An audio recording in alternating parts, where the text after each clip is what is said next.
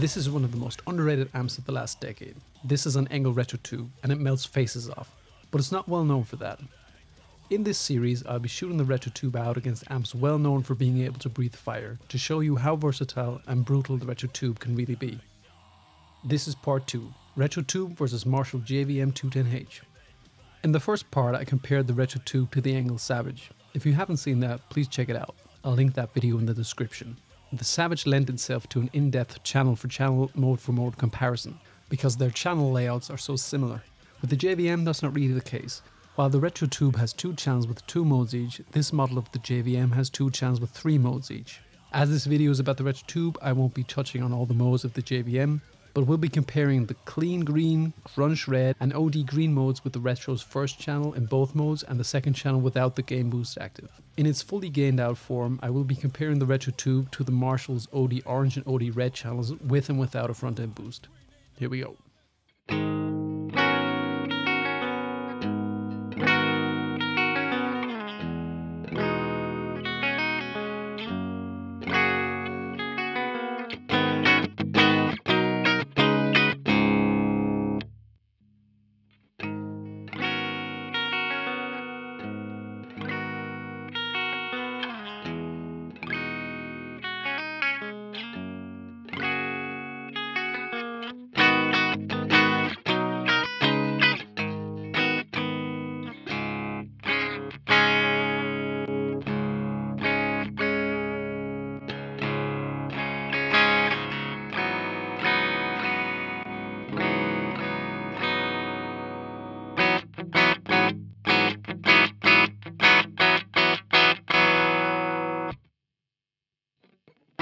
Thank you.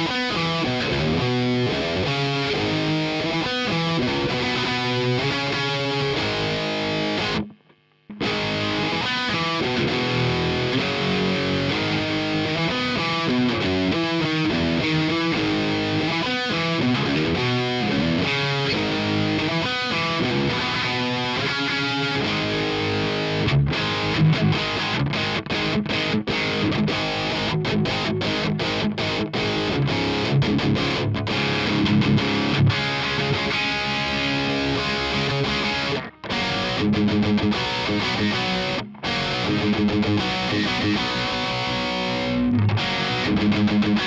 back.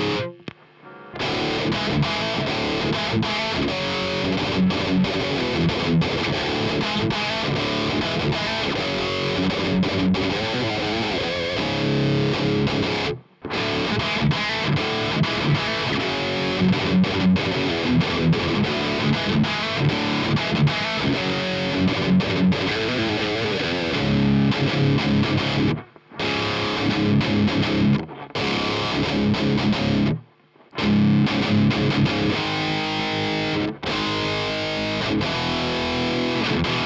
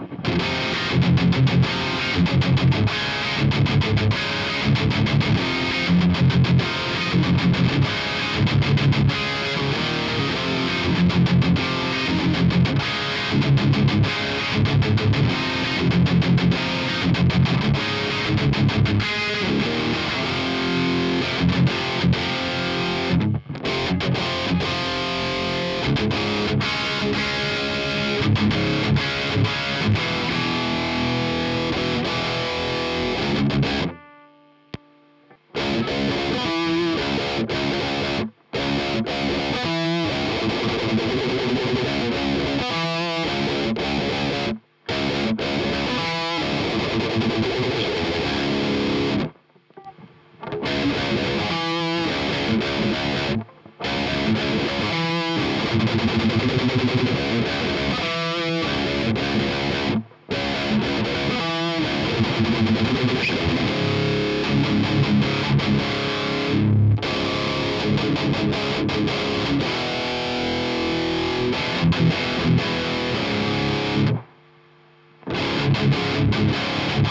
back.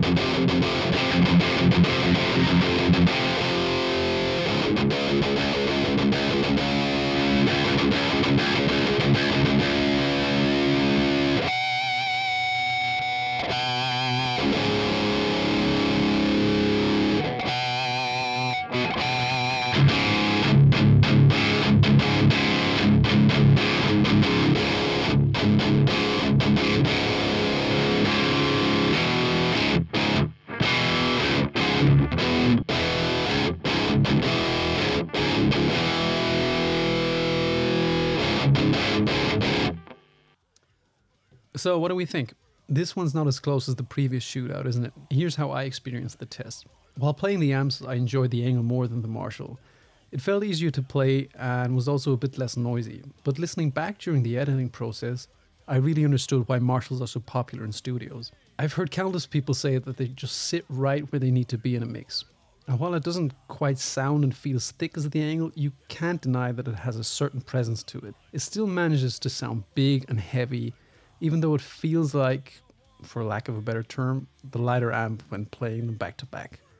Another thing I keep hear people claiming is that Engls get drowned out in band mixes easily. I don't agree with that based on this test. Both amps have a distinct mid range, and I did not perceive the Engl as being pushed out by the Marshall. I did not feel either dominated the other. Now, about the Engl's tone button, I did think I might get closer to the Marshall tone by engaging the tone button on the Engl, which boosts the frequencies between 500 and 1000 Hz according to the manual. However, to me, it made the amp sound quite honky, so I ended up dialing the mids back to an extent that it almost negated the effect. Its sonic signature remained that of an Engl.